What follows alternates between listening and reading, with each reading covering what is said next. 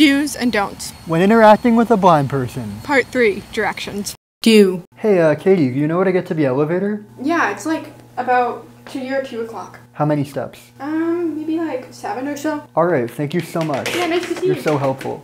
Don't. Hey, Katie, do you know where the elevator is? Yeah, it's over there. Where's there? I'm, I'm pointing to it. Can't you see it? Actually, I can. In case you can't see my cane, uh, I'm blind. I can't really see what you're pointing. Can you try and, like, describe it, maybe? Um, yeah, it's like gray and an object on the wall. Uh, okay, thank you. And Tom never found the elevator.